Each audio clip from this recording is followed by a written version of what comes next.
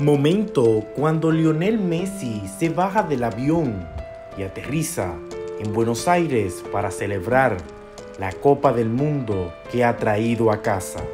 La selección albiceleste regresa desde Qatar para así celebrar con sus hinchas este gran logo que hace 30 años no veían. Enhorabuena